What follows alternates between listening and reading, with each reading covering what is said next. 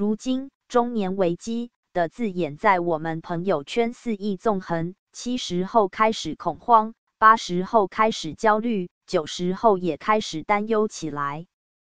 不过今天我们不是来聊中年危机的，相反，我们来谈一谈人生逆袭的机会。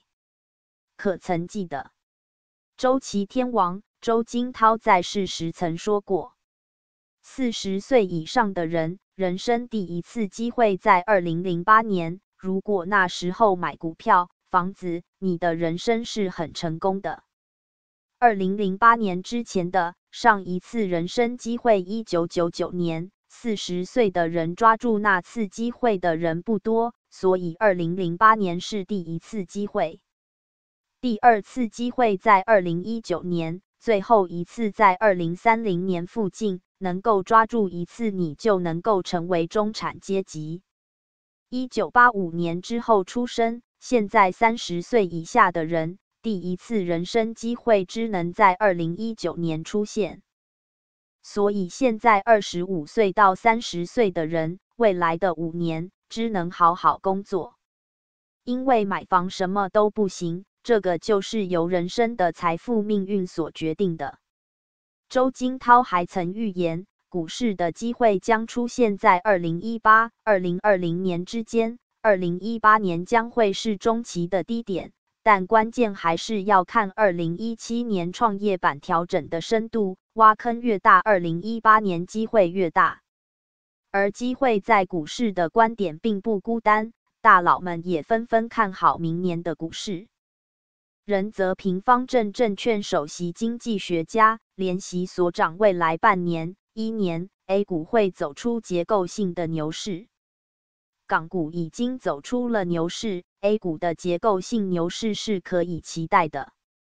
二零一七年四季度负两千零一十八年初经济 L 型，需求侧偏频略有下降，但受坚决严格的供给侧改革。环保督查等制约，新增产能难以释放，供求缺口有助于价格持续保持在相对高位区间，企业盈利持续时间超预期，将提升相关行业的估值。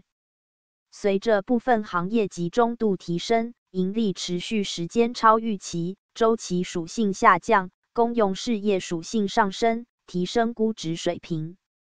我们维持战略看多股市结构性牛市周期，消费金融轮动，经济空头错在哪？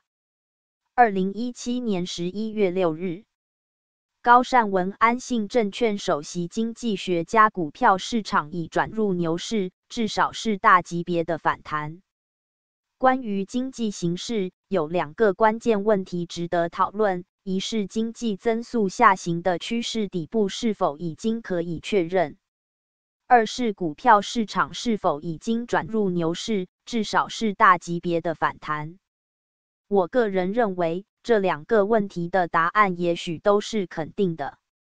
旧闻重发，关于经济周期的一些看法。二零一七年十一月九日。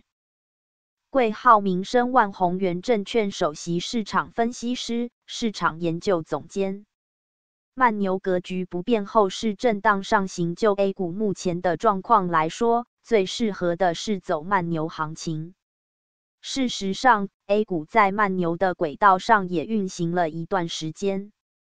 从冲击三千两百点、三千三百点的过程来看，都是进二退一。进三退二地震荡上行，这种和缓的上行节奏以前确实未曾出现过，但在如今经济处于 L 型态势、股市扩容与规范并举的大背景下，稳定运行就成为最自然的选择。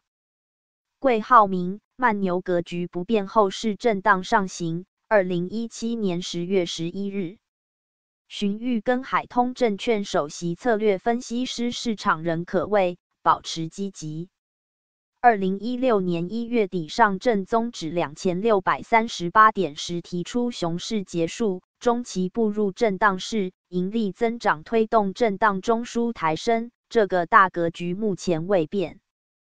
未来半年是对宏观经济平稳、微观盈利向上这一趋势的确认期，我们判断。以五年十月年的中期视角看企业盈利，二零一零年十一月年开始的下行周期在二零一六年中已经结束，过去一年逐步走出了圆弧底，未来几年是整体向上的周期。这个判断需要数据进一步验证，这是中期市场趋势的核心变量。震荡是最终演绎前景取决于此。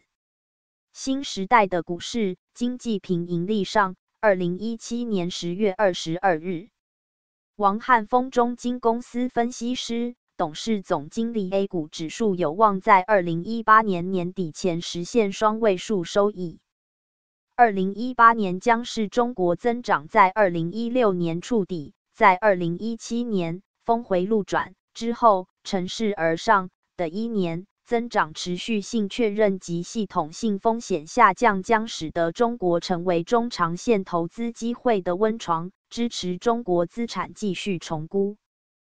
新老经济结构转换仍在推进，城镇化深化、消费升级、产业升级、产业整合三大产业趋势越发明显。我们认为 A 股指数有望在二零一八年年底前实现双位数收益。中金二零一八年 A 股展望，乘势而上，两条主线顺势而为。二零一七年十月三十日，杨德龙前海开源基金执行总经理、首席经济学家，A 股将走出慢牛走势。现在从大类资产配置的角度来看，很明显楼市在调控，债市在调整，而股市现在是刚从底部慢慢启动。所以现在股市对于资金来说具有比较大的吸引力。从全球来看，全球的主要资本市场都已经启动牛市，而牛市启动的顺序每轮都是一样的，就是从美股看到欧股，从欧股看到港股，最后到 A 股。现在美股已经不断创出历史新高，港股现在也接近历史新高，下一步就是轮到了 A 股。所以，大家对于这个国内的资本市场要逐步的恢复信心。杨德龙、白龙马股带领大盘走出慢牛。二零一七年十月二十九日，